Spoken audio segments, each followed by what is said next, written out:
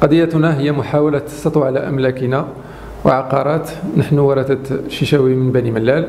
كان الوالد قيد حياته مقاول كبير. وكذلك رئيس لفريق رجاء بني ملال وجماعة ولاد مبارك لمدة 30 سنة. وكانت لنا أخت مريضة وكان الوالد يعطف عليها. وبعد موته سنة 2013 لم نقتسم إرثنا وتركناها تتصرف في مداخله لأنها مريضة وتحتاج إلى مصاريف كثيرة. وبعد وفاتها سنة 2017 ألح علينا سائق هذه الأخت على إنجاز الإرثة عند عدل صديقي في الجلسات الليلية. ولم نعر هذه الخطوة اهتماما كبيرا لأننا كنا نثق فيه وبعد ذلك أخذ في نقل الشهود من دار العزاء إلى مكتب هذين العدلين.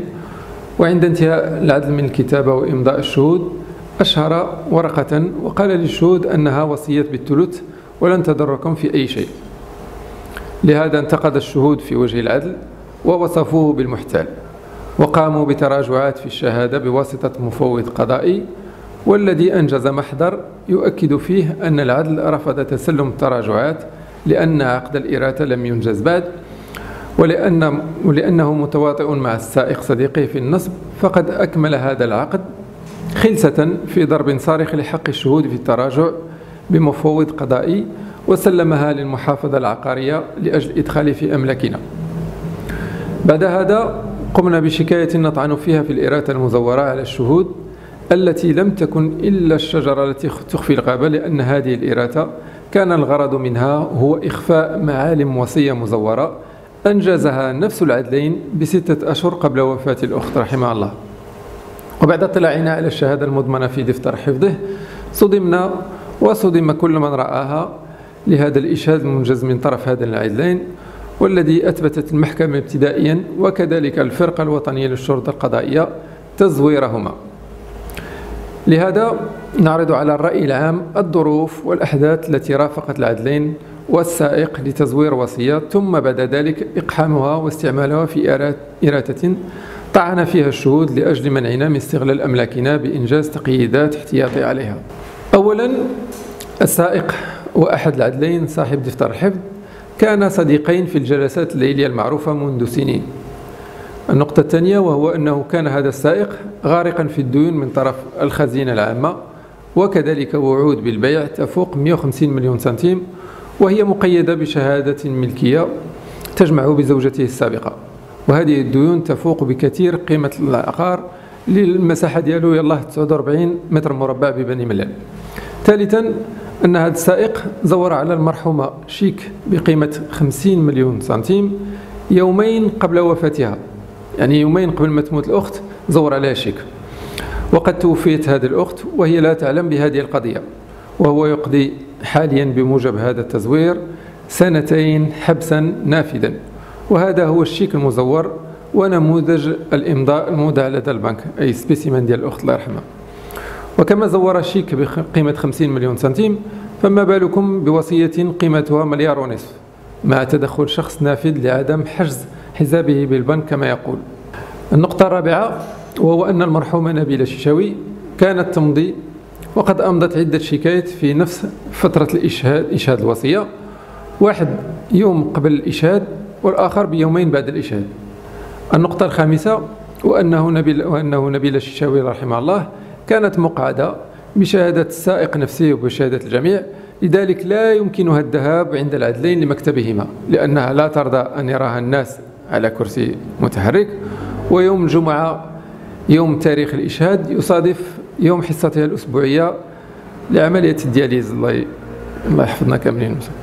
وتكون في حالة إرهاق تام. كما أنها تسكن فيلا قريبة من المحكمة ويمكنها استضافة العدولات إذا كانت بغات دير هذاك الشيء.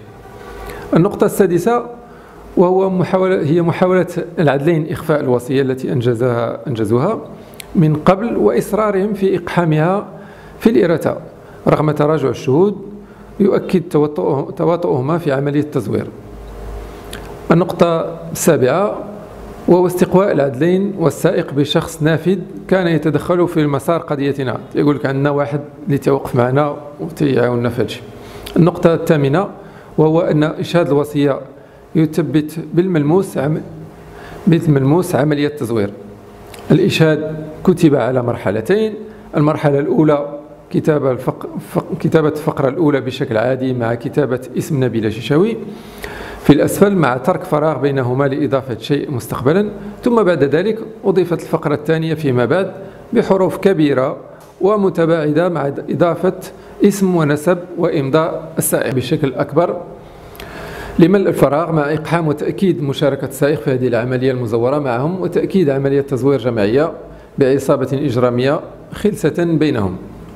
وجود بصمة عوض إمضاء الأخت رحمها الله رغم أنها أمضت في نفس الفترة عدد كبير من الشيكات واحد قبل يوم الإشهاد الموجود في دفتر الحفظ وشيك آخر بعد يومين من تاريخ الإشهاد.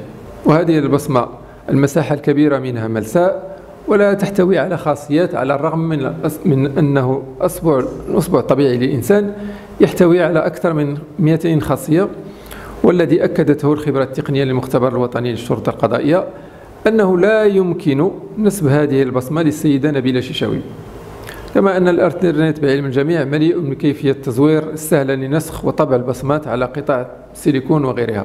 العدل العاطف لم يوثق حضوره عند ختم الإشهاد بإمضائه فوق الإشهاد الموالي لإشهاد الوصية في دفتر حفظ العدل الأول يعني أنه لم يكن تلقي أصلا وبعد اطلاع المحكمة على دفتر حفظ العدل اتضح لها أن جميع الإشهادات الموجودة كتبت بشكل سليم بما فيها البصمات الموجودة في الإشهادات التي أنجزت بشكل احترافي إلا الإشهاد المعني بالزور والذي يخصنا. النقطة النقطة التاسعة وهو كيف يطلب في عقد بيع عقار صياغة جميع المعلومات على هذا العقار ولو كان ب 25 مليون سنتيم وكتابة وصية بقيمة مليار ونصف بدون أي معلومة على أملاكها تثبت الصفة القانونية والمشروعة كشهادة الملكية أو عقود عدلية أو غيرها في تناقض صارخ مما جاء به ما جاءت به الرسالة الملكية الموجهة لوزير العدل والحريات ضد السطو على أملاك المواطنين.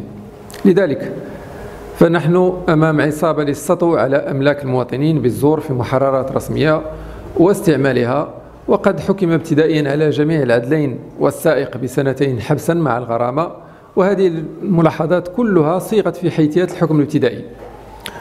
وقد التجأنا إلى الشكايات المباشرة مرغمين رغم كلفتها وتعقيدتها لأنه عدة شكايات حفظت كإخفاء سيارة المرحومة من طرف السائق والاستيلاء على أرض نملكها وجعلها مرأب من طرف السائق أيضا والتهجم على مسكننا ومنع أمنا من بيع محصول الزيتون في ضيعة قرب بني ملال وكانت شكاية الشيك أيضا في طور الحفظ وقد التجأنا إلى الشكايات المباشرة مرغمين رغم كلفتها وتعقيدتها لأن عدة شكايات حفظت كإخفاء سيارة المرحومة والاستيلاء على أرض وجعلها مرأب من طرف السائق والتهجم على مسكننا من طرف السائق من نفس السائق ومنع أمنا من استغلال أو جني زيتون في ضيعة من قرب, قرب من بني ملال.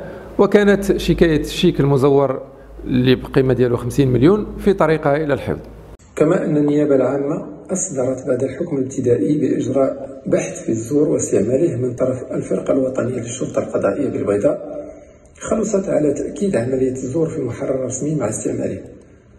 ورغم كل هذا فنحن لسنا مطمئنين على مآل قضيتنا. لذلك وضعنا عدة شكايات لدى المجلس الأعلى للسلطة القضائية ولدى النيابة العامة والديوان الملكي ضد التدخل في قضيتنا بإصدار المشتكى بهم بلاغات كاذبة ووقفات وإضرابات واحتجاجات صورية الهدف منها التأثير على القضاء وكذلك لتدخل شخص ما ولهذا نناشد صاحب الجلالة بإعطاء أمره. حفظه الله. لتفعيل الرسالة الملكية الموجهة إلى السيد وزير العدل والحريات لإقرار الحق ومعاقبة المتلاعبين. كما نترجى كذلك من السيد الرئيس المنتدب للمجلس الأعلى للسلطة القضائية ورئيس محكمة النقد تتبع قضيتنا ونفس الشيء بالنسبة للسيد الرئيس الأول بمحكمة الاستئناف في بني ملال وكذلك السيد وكيل العام بنفس المحكمة لإقرار العدالة لحماية ممتلكاتنا واستثماراتنا والله لا يضيع أجر من أحسن عملا ما تنساوش تابوناو في la chaîne وتأكتيفيو الجرس باش يوصلكم جديد فيديوهات بيك بريس وتبارطاجيو مع صحابكم